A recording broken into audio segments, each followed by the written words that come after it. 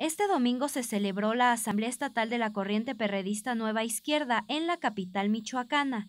Ahí, el dirigente del PRD en el estado, Carlos Torres Piña, lamentó que la izquierda en México llegará dividida a la elección presidencial del 2018 por culpa de Andrés Manuel López Obrador, líder nacional de Morena.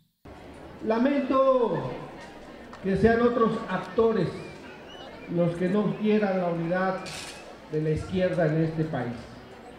Y nos han acusado de paleros, de esquiroles, inclusive nos han dicho que somos de la mafia del poder, que por eso no vamos en esa ruta que plantean otros.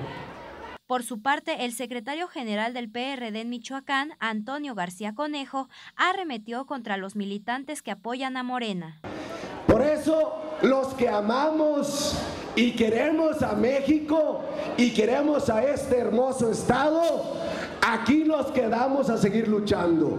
Nosotros no andamos por intereses muy propios y personales.